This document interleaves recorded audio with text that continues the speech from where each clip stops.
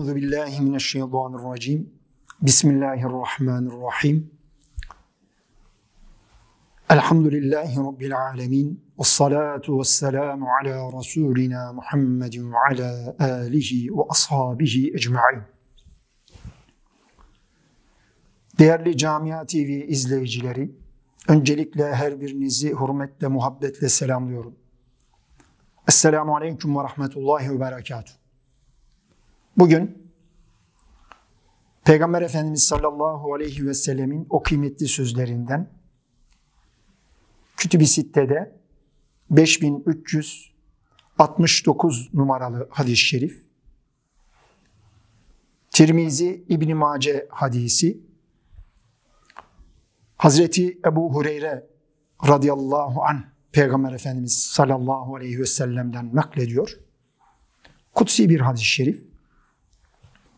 Her zaman olduğu gibi hadis-i şerifin önce Arapçasını ve Türkçesini verip sonra ayetlerle, hadislerle hadisimizi anlamaya çalışacağız.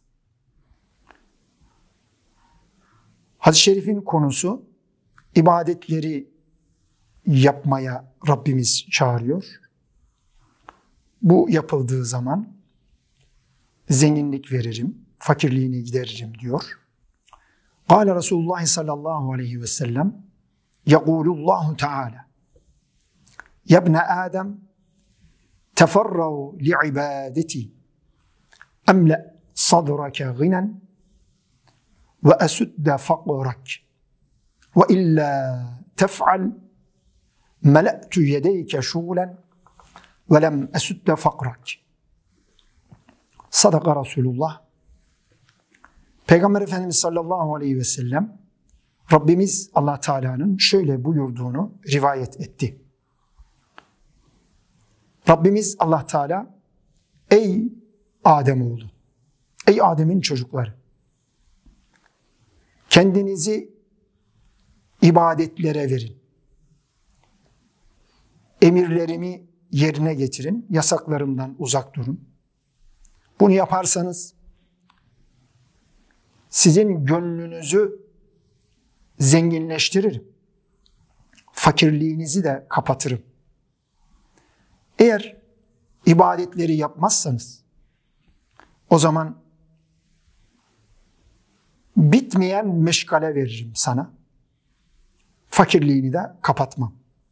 Allah Resulü sallallahu aleyhi ve sellem doğru söyledi. Rabbimiz Allah Teala ibadete çağırıyor. Asıl işimiz kulluk. Bu dünyaya kulluk yapmak için gönderildik. Birinci, ikinci, ona varıncaya kadar en önemli işimiz kulluk. Ondan zaman kalırsa diğerlerini yapmak. Yaratan, bizleri var eden, bizden bunu istiyor. Hepimizin bildiği, hemen kulluk deyince aklımıza gelen, Zariyat suresinin 56, 57, 58. ayetleri çok net, açık ifade ediyor. Rabbimiz Allah Teala ve ma halaktul cinne vel insa illa liyabudun.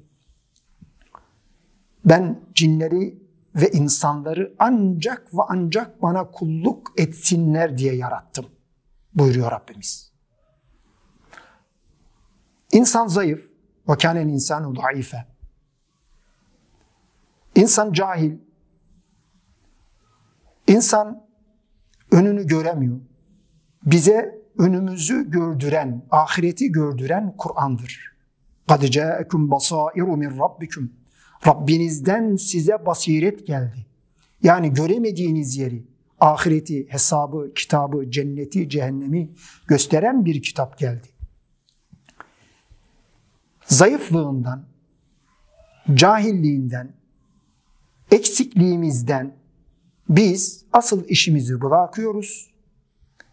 Efendim dünyanın peşine takılıyoruz. Rızkın peşine takılıyoruz.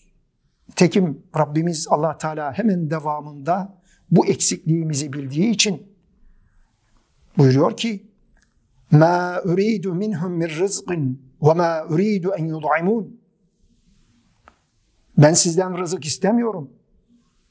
Beni doyurmanızı da istemiyorum. İnna Allah ve razzaku zul kuvvetil metin. Bilin ki rızkın sahibi, güç, kudret sahibi Allah Teala'dır. Ve ke'yyi min dabbetin la tahmilu rizqaha. Nice canlılar var. Rızıklarını yanlarında taşıyamıyor. Toprağın altındaki hayvanlardan denizin içindekilere varıncaya kadar hiç kimsenin, hiçbirinin yanında rızkı yok. Hiçbirisi açlıktan ölmez. Ama çalışılmalı. Ve elleyse lil insan illa ma sa'a ve enne sa'yehu sevfe yura. Necm suresinde insana çalıştığı vardır. Ve çalıştığının karşılığını görür. Çalışma deyince öncelikle Rabbimizin rızası için çalışmak tabi. Rabbimizin rızasını kazanmak için ne yapmışsan onu görürsün.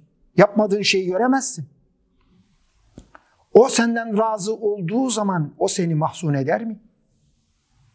O seni üzer mi? O seni bırakır mı? Şairin ifade ettiği gibi akıp gelir sana rızık etme kavişi tedbir kenarı cuyu firavanda hafricah abes. Çok güzel ifade etmiş şair Sami. Allah razı olsun. Diyor ki endişelenme, kaygılanma sen görevini yap. Allah'a iyi bir kul ol. Gayret et, çalış. Sana rızık gelir. Senin rızkın ayrıldı. Ülaike yenaluhum nasibuhum minel kitap. Kitapta yazılan size ulaşır. Sizin endişeniz, kaygınız diyor şuna benzer. Bir nehrin kenarında Nil Nehri'nin, Ren Nehri'nin, Fırat Nehri'nin büyük bir nehrin kenarında sen almışın küçük bir göl. Efendim bu suyu nehrin suyundan istifade etmek için küçük bir göl yapmaya kendi imkanlarında çalışıyorsun. Bu abestir. Bu nehir yıllardan beri akıyor. Bu bitmez. Allah'ın rızkı efendim hem seni hem de bütün insanları doyuracak kadar vardır. Vallahu ganiyyu ve entumul fukara. Allah zengindir, siz fakirsiniz. Ya eyyühennâs entumul fukarâ'u ilallah. Ey insanlar siz Allah'a muhtaçsınız. Bakın şu anda bir virüs döneminde yaşıyoruz. İnsanlar bildiklerine karşı tedbirlerini alabiliyor. Rabbimiz Allah Teala bilmediğimiz şeyleri de yaratır. Nitekim Nahl suresinde Rabbimiz ve ya'lemu ma la ta'lemun. Efendim o Allah sizin bilmediğiniz ve yahluku ma la ta'lemun. Sizin bilmediğiniz şeyleri de yaratır o Allah Teala. Rızık konusunda değerli müminler endişemizden dolayı kulu, kulluğumuzu ihmal etmek yapabileceğimiz en büyük hatalardan birisidir. Efendim yine Aziz Mahmud Hudayi çok güzel ifade etmiş. Akil olan anlar bunu dünya misafirhanedir. Baki safa tahsiline gayretmeye, gayret etmeyen divanedir. Yani bu dünya akıllı olan bilir. Bu dünya misafirhanedir. Misafirliğe gittiğimizde orada kalırız. İkram edilirse bir şeyler yeriz. Bir şeyler içeriz. Zaman dolunca oradan ayrılırız. Orada kalıcı olmayı planlamayız. Ya bu dünyada öyledir bizim için. Geldik. Biraz zamanımız var. Bu zamanı doldurup buradan gideceğiz. Asıl hayat bizim için ahiret, orası ebedi. Ve her gün ölüme yaklaşıyoruz. Asıl ahiret için çalışmayan divanedir, deli odur. Dünyada her istediğimizin efendim yerine gelmesi diye bir şart yok. Her istediğimiz olacak diye bir şey yok. Elbette ki biri iki, 2, 3, 10'u 20, 20'yi 100, bini, 1500, milyonlar. yapmayı seviyoruz. Neden? Nefsimiz doymuyor. Çünkü cennet için yaratıldık. Cennetin nimetleri sınırsız. Onu dünyada zannediyoruz. Nitekim yine hepimizin bildiği bir hadis-i şerif var. Peygamber Efendimiz sallallahu aleyhi ve sellem insanın nefsinin doyumsuzluğunu çok veciz bir şekilde ifade ediyor. Buyuruyor ki Peygamber Efendimiz لَوْ أَنَّ لِبْنِ آدَمَ وَادِيَانِ مِنْ مَالٍ لِأَحَبَّ أَنْ يَكُونَ مَعَهُمَا ثَالِث Ademoğlunun iki vadi dolusu malı olsa üçüncüsünü ister. وَلَا يَمْلَأُ نَفْسَهُ اِلَّا التُّرَابِ en nefsi hiçbir şeyi doyurmaz. O toprağa girince ancak toprağa girinceye kadar doymaz. Onun gözünü toprak doyurur. Toprak doyurur. Yani toprağı hatırlamalı kişi. Kabri hatırlamalı kişi. Ölümü hatırlamalı kişi. Ahireti hatırlamalı kişi. Kanaatkar olmalı. El kanaatü kenzün la yenfe. Kanaat, Peygamber Efendimiz sallallahu aleyhi ve sellem bitmeyen hazinedir. Elindekilerle yetinen efendim kişi mutlu olur. Allah Teala birilerini varlıklı kılar. Birilerini efendim fakir kılar. Bu bir imtihandır. Hepimizin bildiği ölüm ayetinde Enbiya suresinde kullu nefsin zâikatul mevt ve innemâ neblûkum bişşerri vel hayri fitne. Her nefis ölümü tadacaktır. Ve diyor Rabbimiz Allah Teala biz sizi hoşunuza giden şeylerle ve hoşunuza gitmeyen şeylerle imtihan ederiz. Varlıkta imtihan, yoklukta imtihan. İşimiz kulluk. İşte sen kulum kendini benim emirlerime verirsen, en önemli işin olarak kulluğu alırsan, emle sadrake ginen senin gönlünü zengin yaparız. Ve esütte fakrak fakirliğini gideririz. Fakirlik cepte değil. Fakirlik bankada değil. Fakirlik evde, malde, mülkte değil. Fakirlik kalpte. Kur'an-ı Azimuşşan'da çok veciz bir örnektir. Karun. Asıl fakirlik ahirette fakir kalmadır varlığına rağmen bir insanın onları değerlendirip cenneti satın alacak imkanı varken o imkanını değerlendirmeyip de Allah korusun ateşe gitmesidir. Karun örnek olarak veriliyor. Kasas suresinde Rabbimiz bakın mal varlığından bahsederken ve ateynahu minel kunuzi ma inne mafatihahu letenu bil usbeti ulil kuvve. Onun diyor varlığını hazinelerinin anahtarını Hazineleri değil, hazinelerinin anahtarını güçlü bir ordu zor taşırdı. Şimdi böyleyken ona dediler Allah'ın sana verdiğinden Allah'ın rızasını ara.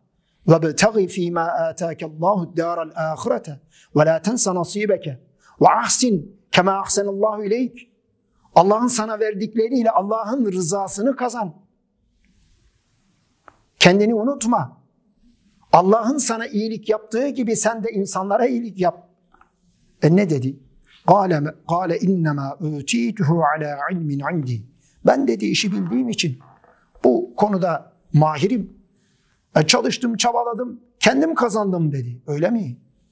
Öyle mi diyorsun? Gör bakalım o zaman. Fahasefna bihi ve bidarihil art. Onu da varlığını da yerin dibine geçirdik diyor Rabbimiz Allah Teala. Kulluk insanı kurtarır. İbadetler insanın yüzünü kıyamet gününde ak yapar. İhlasla yaptığı ameller insanı seçkin, asil yapar. Rabbimiz Allah Teala